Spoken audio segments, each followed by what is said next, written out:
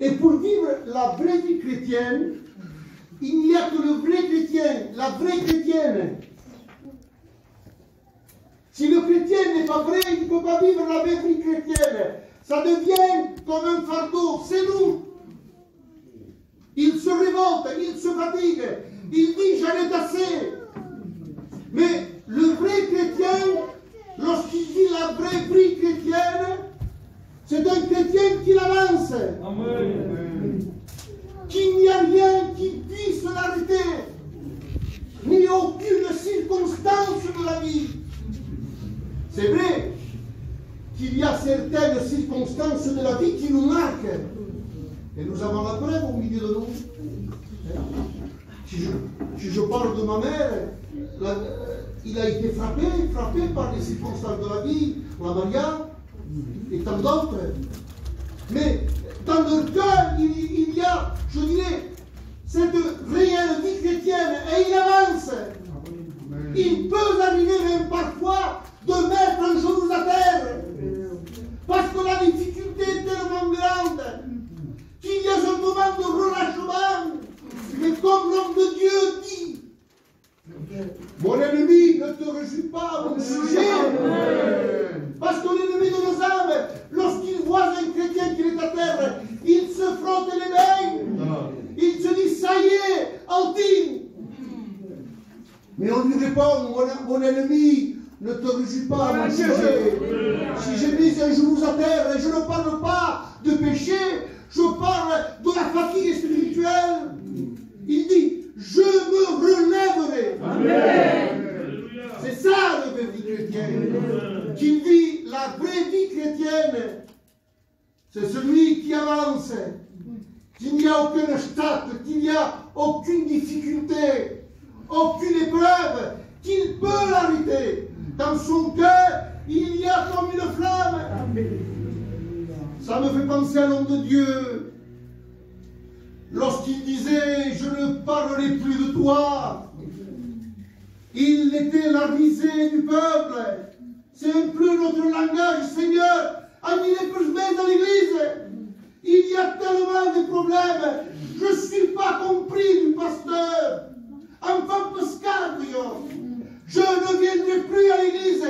Mais l'homme de Dieu disait il y a dans ma vie, dans mon cœur, il y a un feu. Amen. Il me pousse à aller de l'avant.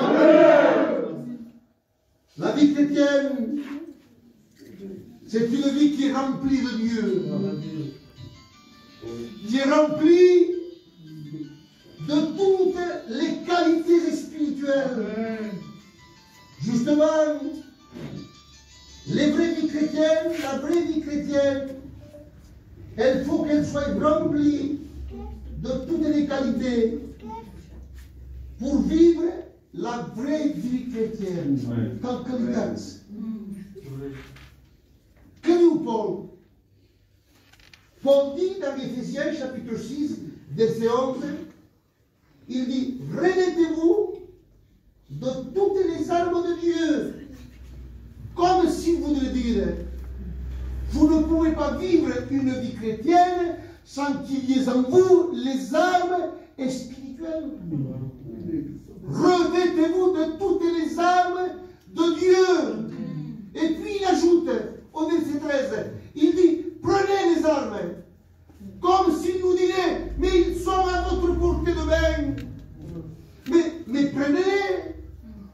Puisse vivre une vie chrétienne sans qu'il y ait des armes? On ne peut pas vivre une vie chrétienne sans le casque du salut. Quand il n'y a pas le casque du salut, l'ennemi met des pensées qui ne sont pas à la gloire de Dieu. Il faut qu'il y ait le bouclier de la foi. Ce bouclier, c'est pour, pour nous réparer des clés enflammées de l'ennemi de nos âmes. Il faut qu'il y ait la cuillère de justice. Sinon, l'ennemi de nos âmes nous tire avec ses flèches. Et s'il n'y a pas la culotte, il touche notre cœur. Il faut qu'il y ait la ceinture de vérité. Parce qu'un chrétien n'est pas fait pour vivre dans le mensonge. Un chrétien est fait pour vivre dans la vérité. Amen. Et la vérité doit être son soutien. faut qu'il y ait les chaussures à ses pieds du zèle. L'homme de Dieu disait, le zèle de ta maison me dévore. Est-ce que le zèle de la maison de Dieu te dévore? Est-ce que ça vous tarde qu'il y ait la réunion? C'est ça le zèle. Est-ce que lorsqu'il y a un frère, lorsqu'il y a une soeur qui ne vient pas, est-ce que tu te fais du souci? Est-ce que tu vas la trouver? Ça, c'est le zèle de la maison de Dieu. Prenons l'épée à double tranchant. C'est la parole de Dieu. C'est notre arme offensive. Toutes les armes espérons pas. Mais la parole de Dieu, c'est pour frapper. Jésus lui-même, qui était fils de Dieu, il nous, a donné l'exemple. Quand l'ennemi a voulu le tenter dans le désert, il pouvait répondre en tant que fils de Dieu. Non, non, il a pris la parole de Dieu. Il a pris son épée à double tranchant et il a frappé l'ennemi. Il dit à nous les armes de Dieu. Un chrétien ne peut pas vivre sans des qualités spirituelles. Que dit Pierre 1 Pierre, 2 Pierre chapitre 1 verset 5, il dit Faites tous vos efforts. Pourquoi Pierre fait des efforts? Il dit Pour joindre à votre foi. Hein? La seule ne suffit pas, il dit non. Il dit Il faut faire des efforts pour joindre à votre foi la vertu, la connaissance, la maîtrise de soi, savoir se maîtriser. Parfois, ils nous font du tort. Parfois, nous avons raison. Et si on ne n'est pas chrétien, normalement, on devrait répondre, mais il y a la maîtrise de soi. C'est difficile parfois, mais il y a la maîtrise de soi. Il dit, mettez-y aussi à la fois, mettez-y la patience, savoir patienter. Que dit encore la Bible Il dit qu'il y ait, qu'il y ait à la fois, qu'il y ait la piété, pas pour vrai, c'est pas ça. La piété veut, veut dire une femme, un homme pieux qui marche étroitement avec la parole de Dieu. C'est ça. Je dis encore la Bible, il dit qu'il y ait l'amitié fraternelle. C'est biblique. Ce sont des qualités que le chrétien doit avoir. Qu'il y ait, qu'il y ait à la foi, c'est bien la foi, mais il faut qu'il y ait l'amitié fraternelle. Quand on voit notre soeur, il faut, ça doit nous réjouir. Qu'il y ait l'amour, dit la Bible. Et l'apôtre Paul, il dira ceci encore. Il dira dans l'église de Thessaloniciens, chapitre 3, verset 10, il dit, je prie à Dieu avec ardence, ça brûlait dans son cœur. J'ai le désir d'aller vous voir, parce que j'ai envoyé Timothée pour me donner des nouvelles de votre foi. Il m'a apporté des bonnes nouvelles. Mais il dit, j'ai le désir d'aller vous voir pour compléter ce qui manque à votre foi. Ce sont des qualités que le chrétien doit avoir. On a besoin des qualités spirituelles pour vivre une vie chrétienne qu'elle soit réelle. On ne peut pas vivre comme bon nous semble. Et je reviens à cet jeune homme riche. Je le compare comme le chrétien d'aujourd'hui. Seigneur, manque pescar de l'union, c'est bien. Seigneur, je donne mon offrande, je paye ma cotisation. Manque parce que jeune, pareil parce que c'est bien. Et Jésus nous regarde, parce que rien n'échappe au regard de Jésus. Ça peut échapper du, responsable, mais pas de Jésus. C'est un regard pénétrant, il va jusqu'au fond du cœur. Et il aime Jésus. Quand il parle, il nous aime. Mais il nous dit la vérité. Aujourd'hui, on, entend cette parole. Il te manque une chose. Demain, ça sera total. Tu pourrais entendre, je pourrais entendre. Je ne te connais pas. Je, je ne t'ai jamais connu. Seigneur, je suis fidèle dans la réunion. C'est bien. Et Jésus regarde et il analyse chaque cœur. Et ce soir, cet après-midi, il nous dit, il te manque une chose. Une chose, c'est pas grave, c'est sur tant d'autres. Il y en a des dizaines, des vingtaines, des centaines, ou le sauveur. Oui, mais il y a des choses qui peuvent nous manquer, qui nous ferment le ciel. C'est fort ce que je dis. Il peut, il peut nous manquer une chose qui est vitale, qui nous, empêcherait de rentrer au ciel. Vous savez, cette femme qui avait dit drame, quando, quando hai che racconta il qualcuno che non è più su dire avec neuf, ça va aller. Non, non, mais le contrat du mariage, c'était le top du mariage. Une jeune fille, lorsqu'elle se mariait, elle devait avoir en main les 10 drames, donc sinon le mariage était annulé.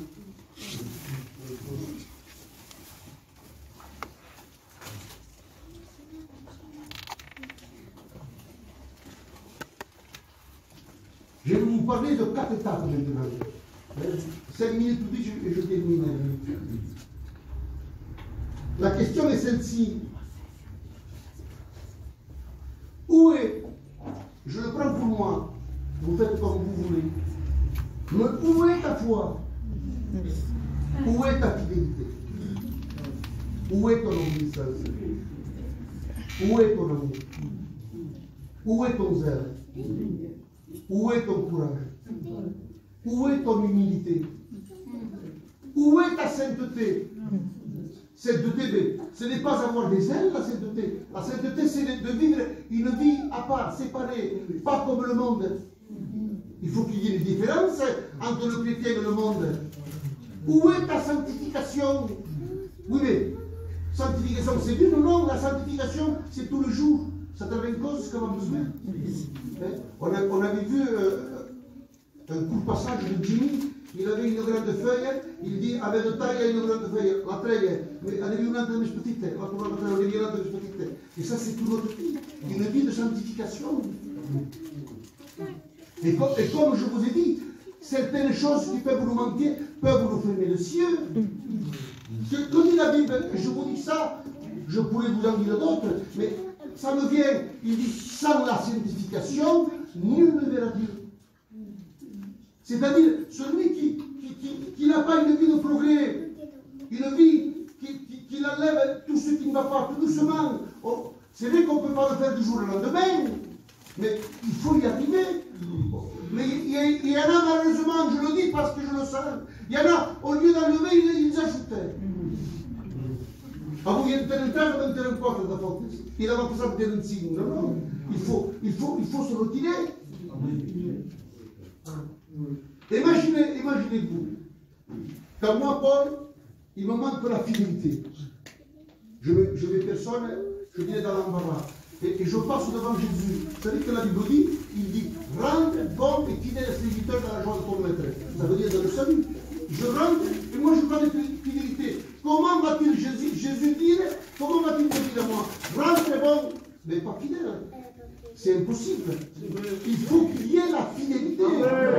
Fidèle dans toutes les choses, dans les petites. Et quand, quand, on va accomplir les petites, le Seigneur va nous accomplir les plus grandes. Obéissance. Il faut qu'il y ait l'obéissance.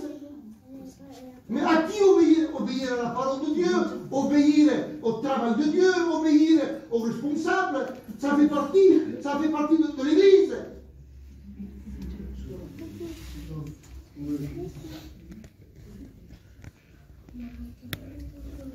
Où est ton casque du salut Allons, scusa.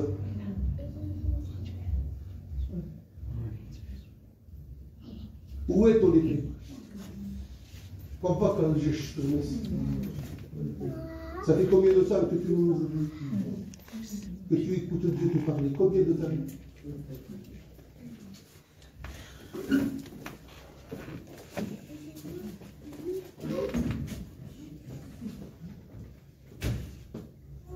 Je vais aller un peu plus loin et un peu, un peu plus profond. C'est la troisième étape. Il peut vous manquer quelque chose, écoutez-moi bien, nous sommes manquer quelqu'un, de quatre manières différentes. Pas mon capucon, mais de quatre manières différentes. Quelles sont? Eh bien, la première est celle-ci. Il peut te manquer quelque chose que tu n'as jamais eu. C'est fort ça, Maman, maman, pourquoi si mais qu'est-ce? Oh, que je. Cet homme qui était Nicodème, il se croyait supérieur à tous. Il dit Seigneur, nous savons, c'est comme nous savons que tu es un docteur comme nous. Il dit Nicodème, il faut que tu naisses de quelle chose C'était quelque chose qu'il n'avait pas. Il lui manquait quelque chose qu'il ne connaissait pas.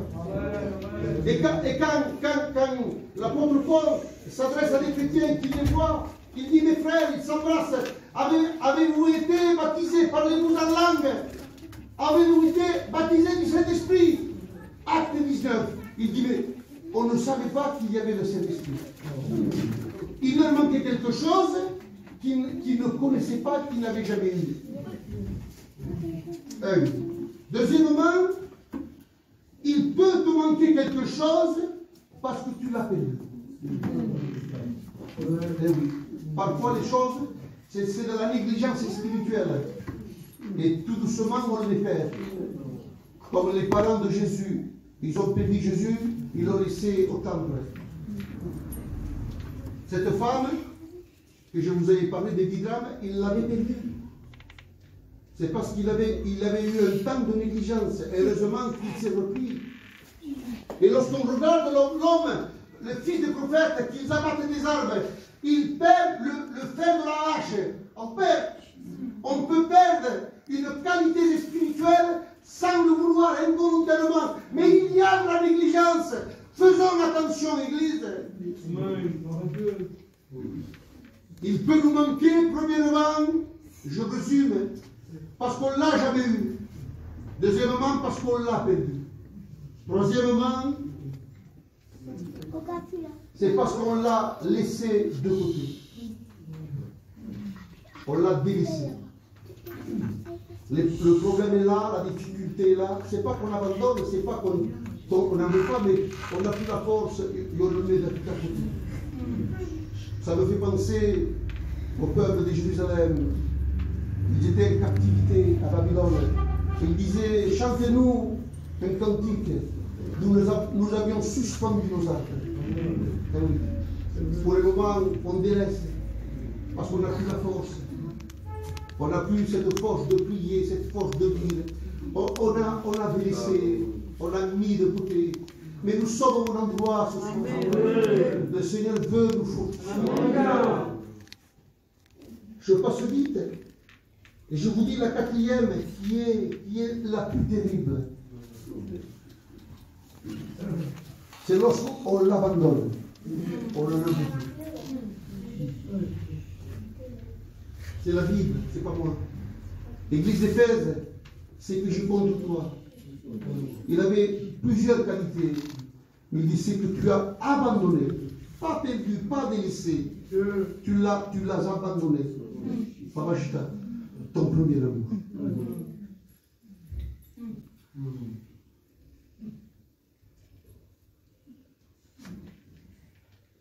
Que faut-il faire pour savoir Si nous jouons pour nous voulons supplier Alors on rentre dans la troisième étape. Et c'est Paul qui nous donne la, réponse. 2 Corinthiens chapitre 13 verset 5. Il dit examinez-vous vous-même pour savoir. Si vous voulez supplier, nous examinez-vous. Et j'ai aimé l'expression qu'il dit Paul.